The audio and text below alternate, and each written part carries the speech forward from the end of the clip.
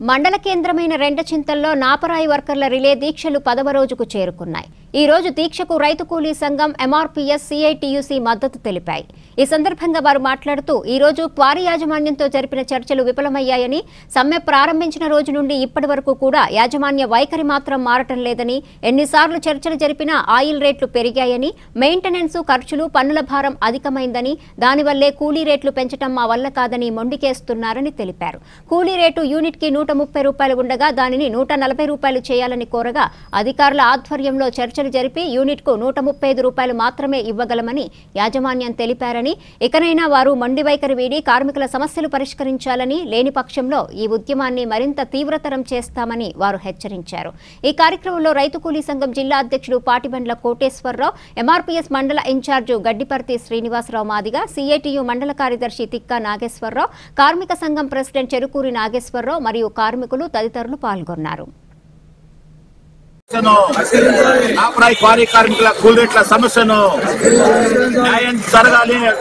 నాపరాయి quarry కార్మికులకు రోజుకి టన్నుకి నూట యాభై రూపాయల నూట యాభై రూపాయల రేటును పెంచాలి కూలి రేట్లను పెంచాలి. నాపరాయి కూలి రేట్లను కల్పించాలి చట్టబద్ధ హక్కులను. గని కార్మికులు సుమారుగా వెయ్యి మంది పనిచేస్తున్నారు.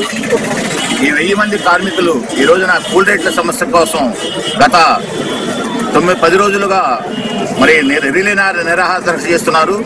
వాళ్ళు సమ్మె ప్రారంభించి దాదాపుగా పద్దెనిమిదో తారీఖు నుంచి ఈ రోజుకి మరి పది పదిహేను రోజుల పైన అవుతున్న పరిస్థితి ఉంది.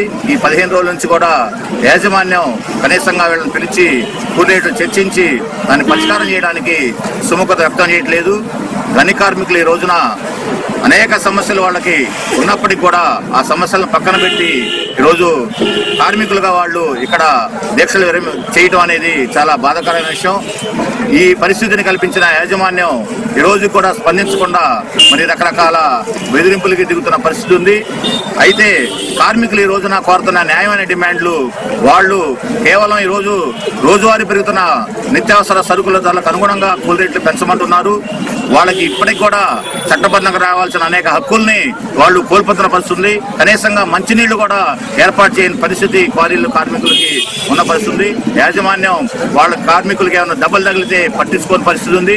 వాళ్ళకి పిఎఫ్లు కానీ ఇన్సూరెన్స్లు కానీ సర్వీస్ కానీ ఇట్లాంటి ఏ ఒక్క చట్టబద్ధ హక్కులను కూడా వాళ్ళకి అందించట్లేదు. అందించకపోగా కూల్ రేట్ల సమస్య అడిగితే వాళ్ళు ఈ రోజున కూ- కార్మికుల మీద విడుచుకుపడుతున్న పరిస్థితి ఉంది. మాకు ఆయిల్ రేట్లు పెరిగినాయి ట్రాన్స్పోర్ట్ పెరిగింది అయితే ట్యాక్సెస్ పెరిగినాయి. కాబట్టి మేము చెల్లించలేమని సమాధానాలు చెబుతున్నారు. పెరిగిన ఏటినైనా భరిస్తారు కానీ వాళ్ళు కార్మికుల యొక్క మరి శ్రమశక్తిని వాళ్ళు ఉపయోగించుకుంటున్నప్పుడు కార్మికులు కూల్ రేట్లు పెంచడానికి వాళ్ళు ఏమకంగా సుముఖత చూడలేదు అందుకని ఈ రిలే నిరాధ్యక్షులు కొనసాగుతుంది కార్మికుల యొక్క న్యాయబద్ధమైన హక్కులు ఏదైతే ఉన్నాయో హక్కులు అన్ని మరి యాజమాన్యం కల్పించే వరకు కనీసంగా కూలరేట్ల సమస్య పరిష్కారే వరకు ఈ సమ్మె కొనసాగుతుంది. ప్రజలు ప్రజాతంత్రవాదులు ప్రభుత్వ అధికారులు అందరూ కూడా కార్మికుల న్యాయమైన సమస్యకి మద్దతు తెలిపి ఈ యొక్క కార్మికులకి కూలరేట్ల సమస్యని వాళ్ళకి రావాల్సిన చట్టబద్ధమైన న్యాయమైన హక్కుల్ని కల్పించ కల్పించాల్సిందిగా ప్రభుత్వం ప్రభుత్వ అధికారులు చొరవ విజ్ఞప్తి చేస్తున్నాం.